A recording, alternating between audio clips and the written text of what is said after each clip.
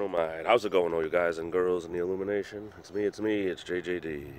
JJ, double J, the illuminator here. The Loom, Presbyteriac, and about 107 other names, aliases. We won't get into that right now. Uh, it's Monday, April 9th, 2018. We are one day removed from WrestleMania, which was last night, WrestleMania 34. And I have some mixed feelings about WrestleMania. I won't get into it too much. Not everyone's a wrestling fan, but uh, a couple of good matches. The rest I thought was garbage, just like last year. What are you going to do? Anyway, it's kind of chilly outside today. It's a whopping 40 degrees right now with the high supposed to be 48. Sun is definitely out in droves, so that's kind of good. But there's a cool wind, and I have to admit, I'm not that crazy about that.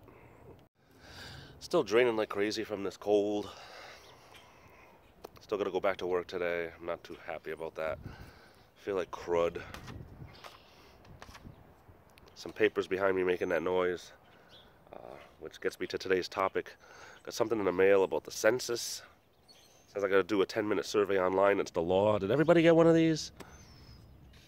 Any idea what this is all about? I gotta spend 10 minutes online doing the census thing later. Just absolutely crazy.